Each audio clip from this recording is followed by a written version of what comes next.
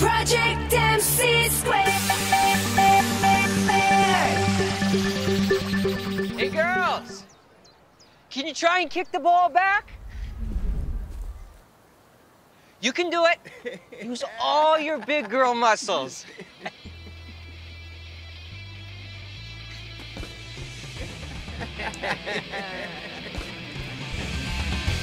I got this.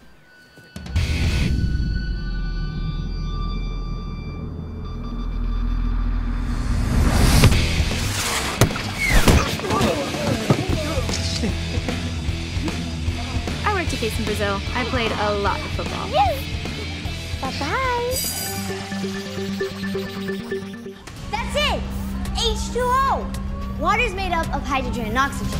So when you separate the atoms via electrolysis, you can burn the hydrogen as fuel. The product is water vapor. And it releases harmlessly into the environment. And gentle on Mother Earth.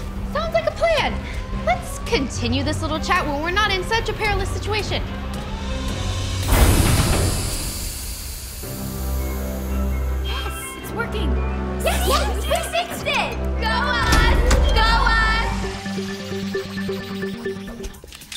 Picture of the lock, do a reverse image search online to find the exact model, make a master key, and we're in.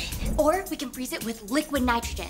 Actually, the compressed chemical difluoroethane. If you cool it to negative 25 degrees Celsius, even tough locks become brittle enough to smash open with a hammer. Or burn through it with a thermite reaction using aluminum powder and rust powder. It can be very dangerous, but pretty awesome! Or we could just walk in. That works too. Bright, I need to borrow your necklace. McKeyla, I need a rusty leg of that metal chair. Ahora. Now we need something that we could use to burn, to make some smoke. Burn my socks. Although, fair warning, we may regret it. One minute. When aluminum reacts with rust, it creates thermite, which burns at over 2,000 degrees centigrade.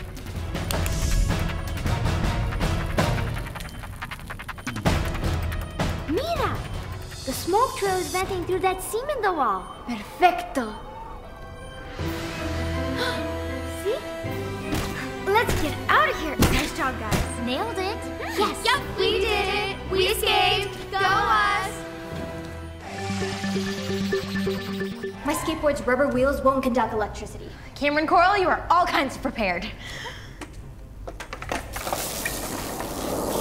That was awesome! Way to go! All right, Cam. That girl makes something so scary seem so fun!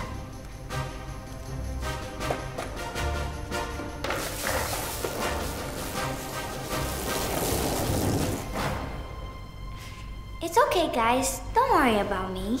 We're not leaving without you. You won't have to. Wood is not affected by electricity, which means this bench should do.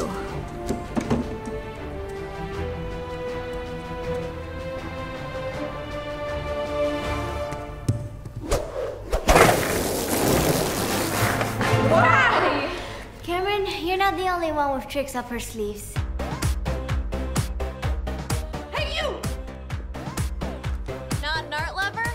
Learn a lot about people from their trash. Bye, y'all. Bye, Lucinda. It's hard on a plant living in a closet.